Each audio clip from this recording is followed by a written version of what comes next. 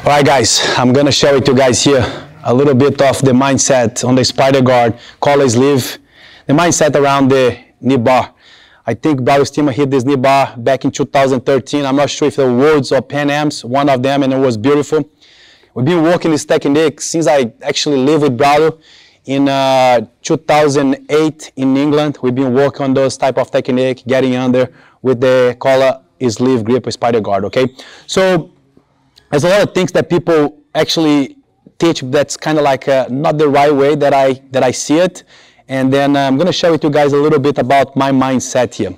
So basically here on the spider guard, especially like on the purses on the knees, you don't necessarily actually have to be like extend your leg.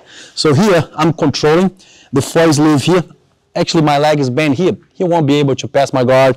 Bring this knee up here to try to like uh, use the knee to pop the floor of the biceps. It's not going to work. And then when I need to put a pressure, I pull the lapel and I apply the pressure here.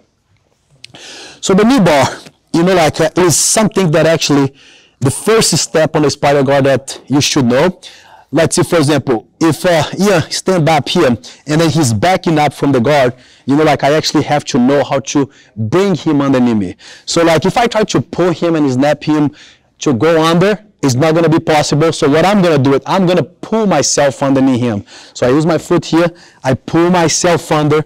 When I'm almost under, I begin to pull him forward. So here, I'm trying to get under, but that is scope reaction the person can create one of the reaction is a step to the side, almost like a side control here. Exactly. Here, if I'm not pay attention what I'm going to do next, and then he release, he can actually pop this foot of the bicep and pass my guard. But this is actually something that is very good for me here.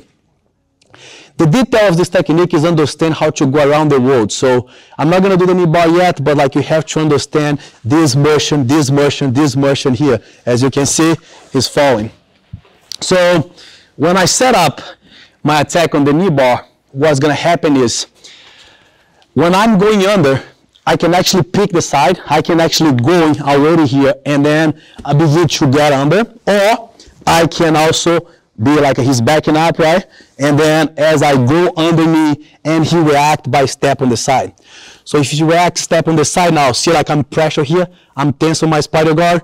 So I'm gonna begin to like really rotate under me here. When I get in this situation, I'm gonna catch right here on his leg. I keep like open, my spider, keep, keep, keep, keep. When he's off balance there now, I bring my knee, then now I'm here with a full knee bar position. So also, another way that I can actually walk, I can go directly on the move, okay? It can be, he's standing up there, and then instead of going in a direction, I'm actually pull myself to the side here, pull my leg, and then I begin to like a shooting through. So see like my head is spin underneath him. So until I get in this position, now the pressure remain on the biceps to open him up. When I see the opportunity here, he's actually based to not get swept. That's when I bring my leg close, one, the other one, and then under the armpit here, the bar is very tight. I hope you guys enjoy.